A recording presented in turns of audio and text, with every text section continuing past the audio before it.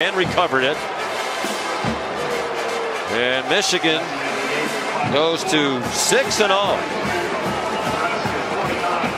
It's so many similarities, it's two programs led by great quarterbacks at the alma maters now in Harbaugh and Frost, each kind of taking longer to get to where the fan base thought they would be.